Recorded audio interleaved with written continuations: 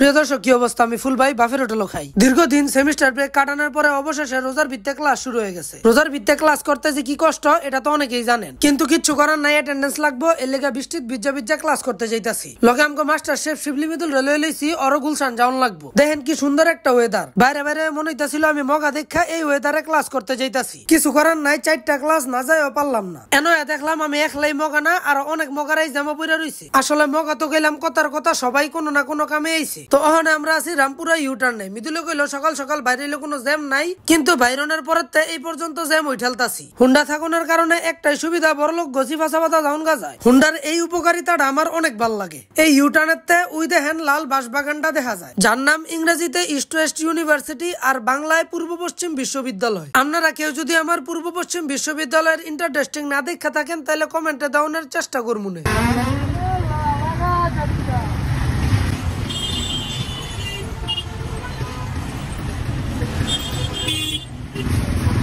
Sarpık Cumalı'dır, rek sarıksak. সামনে আইতেই দেখলাম মামা রাউন পজিশনে খাড়া রয়েছে এরপরে দেখলাম কিছু বড়লোক পাখি। এন আইবেন আর বড়লোক পাখি দেখতেন না, তাহলে তো হইতই না। কারণ এন আছে বহুল আলোচিত, সমালোচিত ব্রেক উ।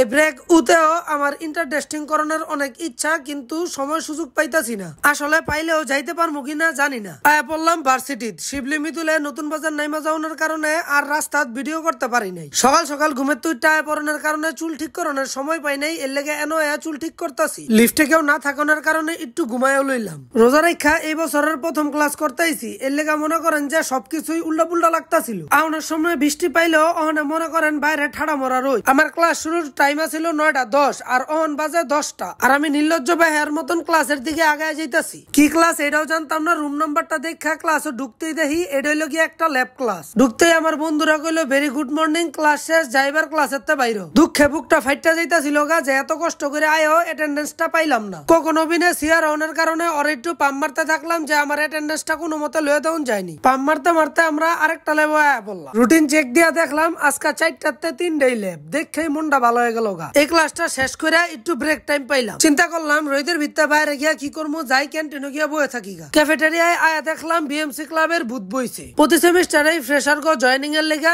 এই বুথটা বহন হয়। তো অনেক ফ্রেশাররা ক্লাসে থাকুনের কারণে মোটামুটি বুথটা খালি হয় এইদিকে সৈয়দ ওয়াসিফ কাইসারের লগে অনেকদিন পরে দেখা। এর লেগা বন্ধুর লগে বইয়া কতক্ষণ খাজুইরা আলাপ পারতাছিলাম। খাজুইরা আলাপ পারতে পারতে এতক্ষণে ফ্রেশার গো ক্লাস শেষ হয়ে যায়। এইদিকে ওরাও দুরুম দুরুম ক্লাবে জয়েন হইতে থাকে।